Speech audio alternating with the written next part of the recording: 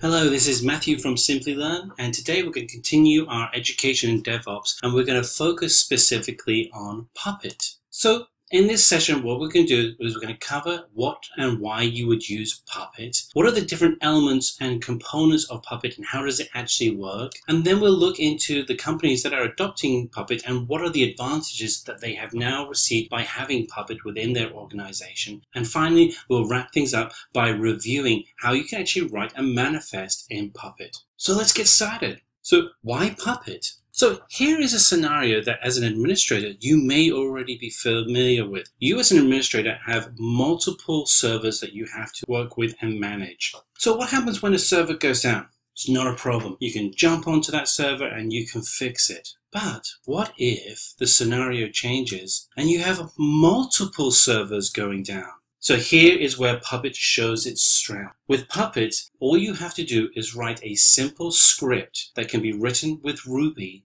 and write out and deploy to the servers your settings for each of those servers. The code gets pushed out, out to the servers that are having problems, and then you can choose to either roll back to those servers to their previous working states or set them to a new state and do all of this in a matter of seconds. And it doesn't matter how large your server environment is, you can reach to all of these servers your environment is secure, you're able to deploy your software, and you're able to do this all through infrastructure as code, which is the advanced DevOps model for building out solutions. So let's dig deeper into what Puppet actually is. So Puppet is a configuration management tool maybe similar tools like Chef that you may already be familiar with. It ensures that all your systems are configured to a desired and predictable state. Puppet can also be used as a deployment tool for software. Automatically, you can deploy your software to all of your systems or to specific systems. And this is all done with code. This means you can test the environment and you can have a guarantee that the environment you want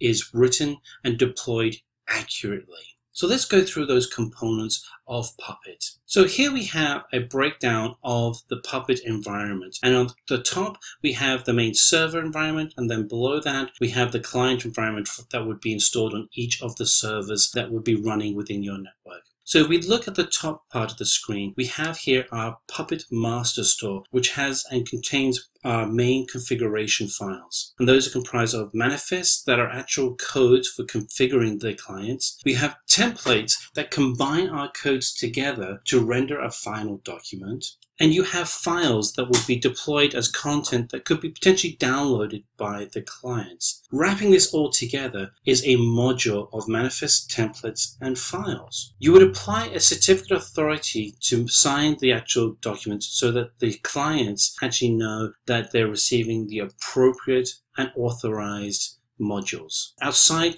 of the master server where you'd create your manifest templates and files, you would have Puppet Client is a piece of software that is used to configure a specific machine. There are two parts to the client. One is the agent that constantly interacts with the master server to ensure that the certificates are being updated appropriately. And then you have the Facter that the current state of the client that is used and communicated back to through the agent. So let's step through the workings of Puppet. So the Puppet environment is a master-slave architecture. The clients themselves are distributed across your network and they are constantly communicating back to a master server environment where you have your Puppet modules the client agent sends a certificate with the ID of that server back to the master. And then the master will then sign that certificate and send it back to the client. And this authentication allows for a secure and verifiable communication between client and master. The Facter then collects the state of the client and sends that to the master.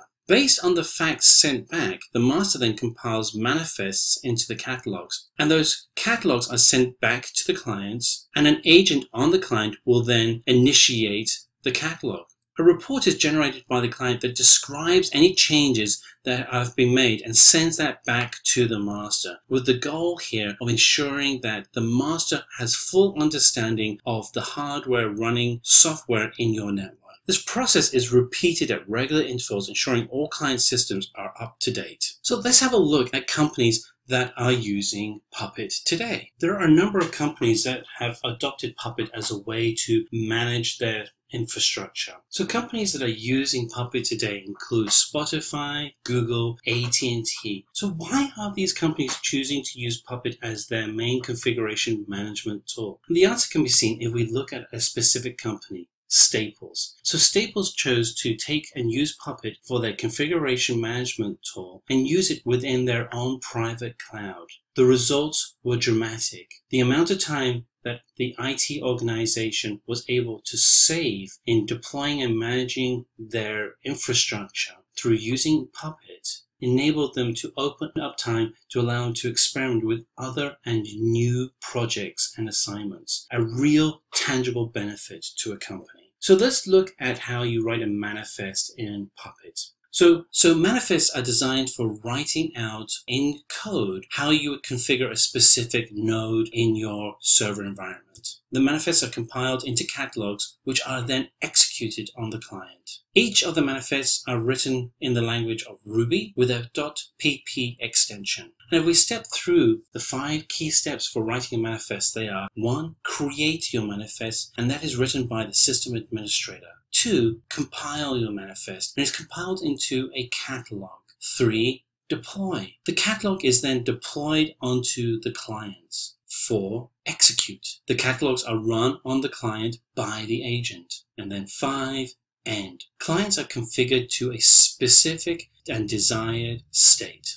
If we actually look into how manifest is written, it's written with a very common syntax. If you've done any work with Ruby or really configuration of systems in the past, this may look very familiar to you. So we break out um, the work that we have here. You start off with a package, file, or service as your resource type, and then you give it a name, and then you look at the features that need to be set, such as IP address. Then you're actually looking to have a command written, such as present or start. The manifest can contain multiple resource types. If we continue to write our manifest in Puppet, the default keyword applies a manifest to all clients. So an example would be to create a file path that creates a folder called sample in a main folder called etc. The specified content is written into a file that is then posted into that folder. And then we're going to say we want to be able to trigger an Apache service and then ensure that that uh, Apache service is installed on a node. So we write the manifest and we deploy it to a client machine. On that client machine, a new folder will be created with a file in that folder and an Apache server will be installed. You can do this to any machine and you'll have exactly the same results on those machines. So why Puppet? Puppet is a tool to help manage your infrastructure for your hardware and the software installed on those servers. Puppet is a tool that makes it very easy through code to implement consistent experiences across your network. The components of Puppet are really broken into two distinct areas where you have a server where you would write the manifests, templates, and files, and that server is a master server. And then you would have a client installed on all the individual servers within your network. So you can then push out instructions to those networks. The number of companies that are using Puppet is significant. They include companies such as Spotify, AT&T, Staples, and Google. And finally, the process for actually writing a manifest is fairly easy. You'll be able to pick this up really quickly. And this is truly going to help you better manage your infrastructure through using code and infrastructure as a code principles. Thank you for joining us watching this video. If you like this, hit subscribe below or ask us any questions uh, in the comments below too.